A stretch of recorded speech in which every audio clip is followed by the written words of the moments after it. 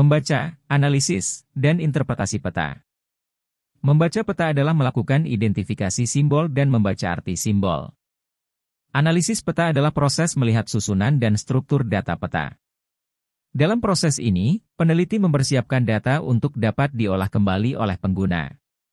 Analisis peta dilakukan dengan menggunakan metode sistematis untuk melihat tren dan pengelompokan berbagai jenis data dalam peta.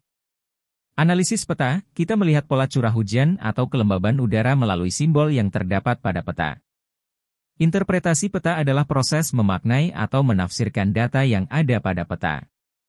Interpretasi melibatkan proses pengambilan kesimpulan, generalisasi, korelasi dan sebab akibat dari data-data yang tergambar pada peta.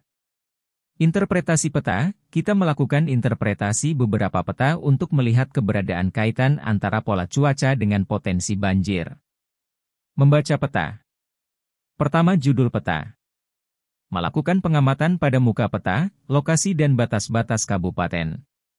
Mengamati simbol baik berupa garis ataupun area, dan variasi warna, dan terlihat sebaran.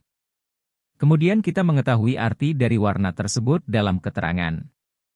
Teridentifikasi terdapat empat variasi kelembaban, normal, agak basah, basah, dan sangat basah.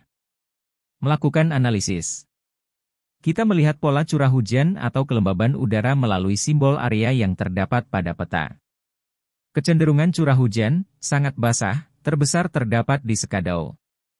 Kemudian, sebagian besar Kalimantan Barat terlihat warna kuning atau kelembaban normal, Kabupaten Landak, Kota Singkawang dan Pontianak, Mempawah, Sambas, dan Kapuas Hulu. Dan seterusnya. Untuk analisis yang lebih lanjut digunakan berbagai metode-metode yang lebih rinci. Melakukan interpretasi. Proses memaknai atau menafsirkan. Proses pengambilan kesimpulan, generalisasi, korelasi dan sebab akibat dari data-data yang tergambar pada peta. Kita dapat melakukan interpretasi beberapa peta untuk dapat melihat keberadaan kaitan antara pola cuaca dengan potensi banjir.